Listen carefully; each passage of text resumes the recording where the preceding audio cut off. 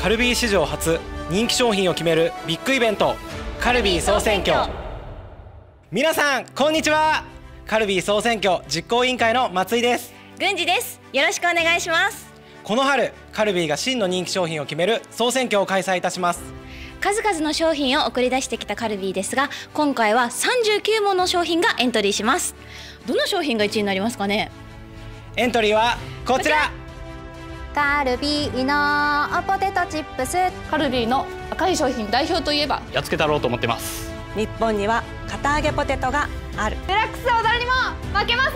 イエーイ。カルビーかっぱえびせん。ほっこり満たされる時間は負けません。